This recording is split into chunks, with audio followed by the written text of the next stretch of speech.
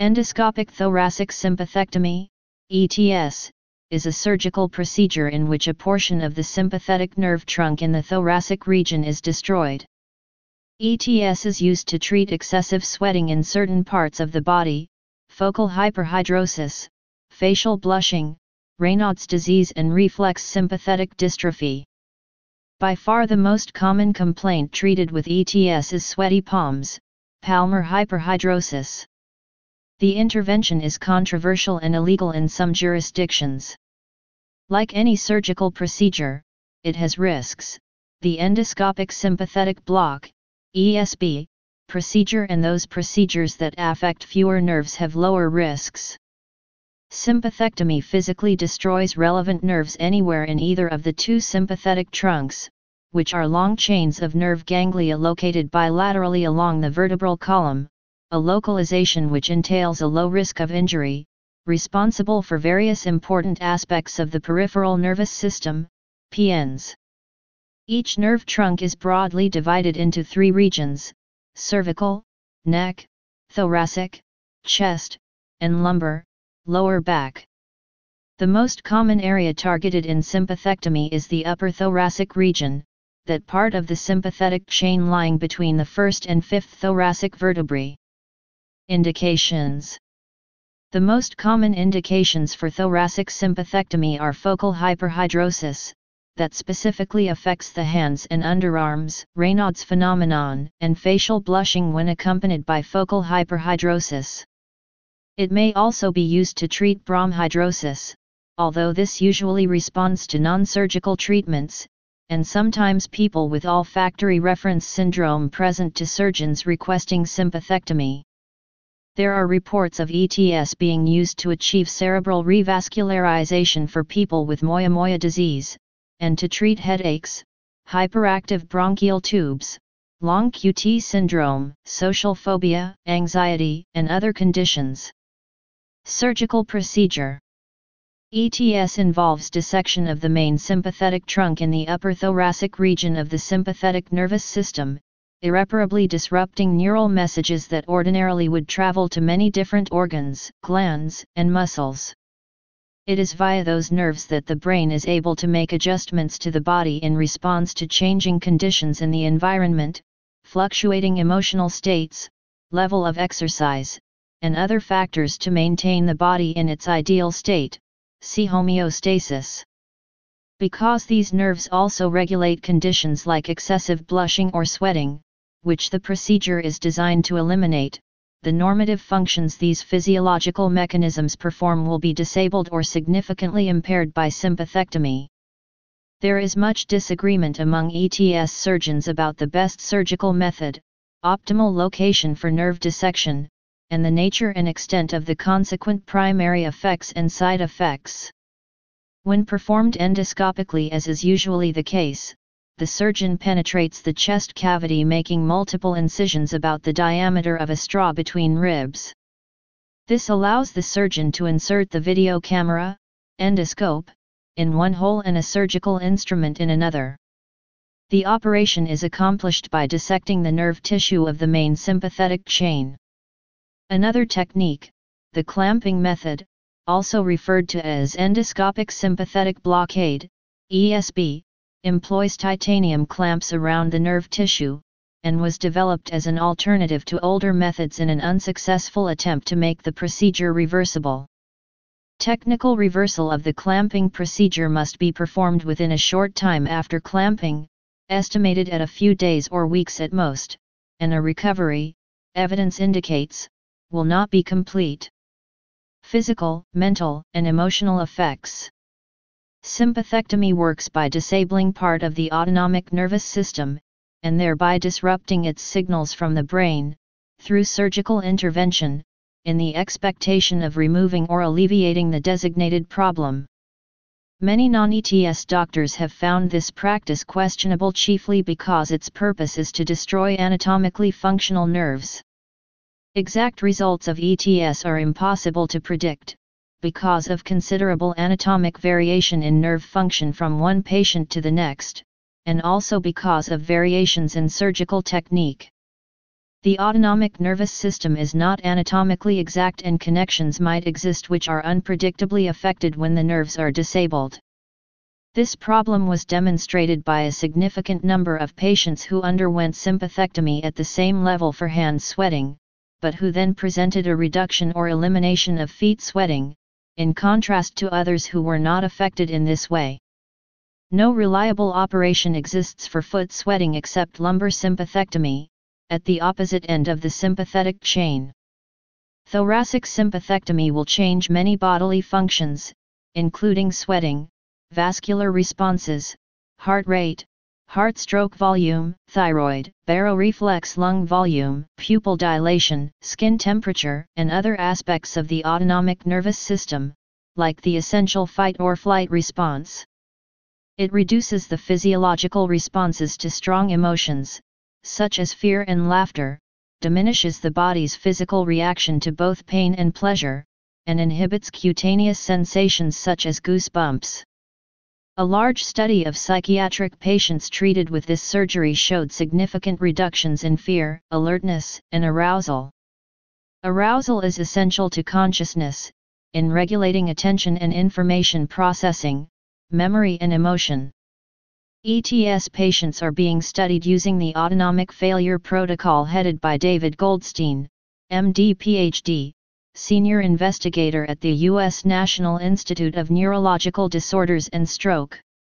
He has documented loss of thermoregulatory function, cardiac denervation, and loss of vasoconstriction. Recurrence of the original symptoms due to nerve regeneration or nerve sprouting can occur within the first year post-surgery. Nerve sprouting, or abnormal nerve growth after damage or injury to the nerves can cause other further damage. Sprouting sympathetic nerves can form connections with sensory nerves, and lead to pain conditions that are mediated by the SNS. Every time the system is activated, it is translated into pain. This sprouting and its action can lead to Frey's syndrome, a recognized after effect of sympathectomy, when the growing sympathetic nerves innervate salivary glands, leading to excessive sweating regardless of environmental temperature through olfactory or gustatory stimulation. Risks ETS has both the normal risks of surgery, such as bleeding and infection, conversion to open chest surgery, and several specific risks, including permanent and unavoidable alteration of nerve function. It is reported that a number of patients, 9 since 2010, mostly young women, have died during this procedure due to major intrathoracic bleeding and cerebral disruption. Bleeding during and following the operation may be significant in up to 5% of patients. Pneumothorax, collapsed lung, can occur, 2% of patients. Compensatory hyperhidrosis, or reflex hyperhidrosis, is common over the long term. The rates of severe compensatory sweating vary widely between studies, ranging from as high as 92% of patients. Of those patients that develop this side effect, about a quarter in one study said it was a major and disabling problem. A severe possible consequence of thoracic sympathectomy is corposcindosis, split body syndrome, in which the patient feels that he or she is living in two separate bodies, because sympathetic nerve function has been divided into two distinct regions, one dead, and the other hyperactive. Additionally, the following side effects have all been reported by patients chronic muscular pain, numbness, and weakness of the limbs, Horner's syndrome, anhidrosis, inability to sweat, hyperthermia, exacerbated by anhidrosis and systemic thermoregulatory dysfunction, neuralgia, paresthesia, fatigue, and amotivationality, breathing difficulties, substantially diminished physiological slash chemical reaction to internal and environmental experience, e.g. pleasure and pain slash perceptual stimuli. Somatosensory malfunction, aberrant physiological reaction to stress and exertion etc., Raynaud's disease, Ironically a possible indication for surgery, reflex hyperhidrosis, altered slash erratic blood pressure and circulation, defective fight or flight response system, loss of adrenaline, eczema, and other skin conditions resulting from exceptionally dry skin, rhinitis, gustatory sweating, also known as Frey's syndrome.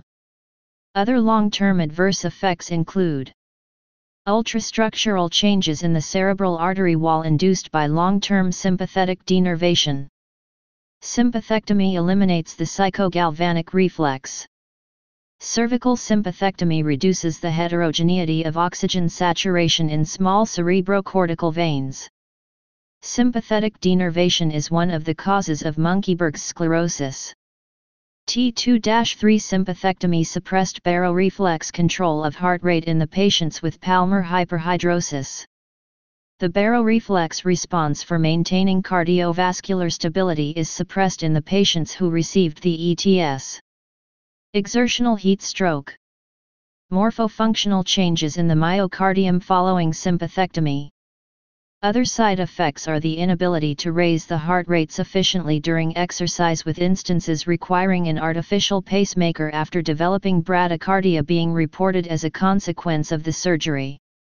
The Finnish Office for Healthcare Technology Assessment concluded more than a decade ago in a 400-page systematic review that ETS is associated with an unusually high number of significant immediate and long-term adverse effects. Quoting the Swedish National Board of Health and Welfare statement, the method can give permanent side effects that in some cases will first become obvious only after some time. One of the side effects might be increased perspiration on different places on your body. Why and how this happens is still unknown. According to the research available about 25 to 75% of all patients can expect more or less serious perspiration on different places on their body, such as the trunk and groin area, this is compensatory sweating. Controversy In 2003, ETS was banned in its birthplace, Sweden, due to overwhelming complaints by disabled patients. In 2004, Taiwanese health authorities banned the procedure on people under 20 years of age. In other countries, including the United States of America, it is a notoriously unregulated procedure. The Internet now features many websites run by surgeons extolling the benefits of ETS. However, there are also many websites run by disabled ETS victims who complain of severe adverse reactions leading to decreased ability to perform occupational and daily activities and a perceived lack of adequate informed consent. Several online discussion forums are dedicated to the subject of ETS surgery, where patient testimonials abound. History Sympathectomy developed in the mid-19th century, when it was learned that the autonomic nervous system runs to almost every organ, gland, and muscle system in the body. It was surmised that these nerves play a role in how the body regulates many different body functions in response to changes in the external environment, and in emotion. The first sympathectomy was performed by Alexander in 1889. Thoracic sympathectomy has been indicated for hyperhidrosis, excessive sweating, since 1920, when Kotzareff showed it would cause anhidrosis, total inability to sweat, from the nipple line upwards. A lumbar sympathectomy was also developed and used to treat excessive sweating of the feet and other ailments, and typically resulted in impotence and retrograde ejaculation in men. Lumbar sympathectomy is still being offered as a treatment for plantar hyperhidrosis, or as a treatment for patients who have a bad outcome, extreme compensatory sweating, after thoracic sympathectomy for palmar hyperhidrosis or blushing, however, extensive sympathectomy risks hypotension. Endoscopic sympathectomy itself is relatively easy to perform, however, accessing the nerve tissue in the chest cavity by conventional surgical methods was difficult, painful, and spawned several different approaches in the past. The posterior approach was developed in 1908, and required resection, sawing off, of ribs. A supraclavicular, above the collarbone, approach was developed in 1935, which was less painful than the posterior, but was more prone to damaging delicate nerves and blood vessels. Because of these difficulties, and because of disabling sequelae associated with sympathetic denervation, conventional or open sympathectomy was never a popular procedure, although it continued to be practiced for hyperhidrosis, Raynaud's disease, and various psychiatric disorders. With the brief popularization of lobotomy in the 1940s, sympathectomy fell out of favor as a form of psychosurgery. The endoscopic version of thoracic sympathectomy was pioneered by Goran Claes and Christer Drott in Sweden in the late 1980s. The development of endoscopic minimally invasive surgical techniques has decreased the recovery time from the surgery and increased its availability. Today, ETS surgery is practiced in many countries throughout the world predominantly by vascular surgeons. Please subscribe and thanks for watching.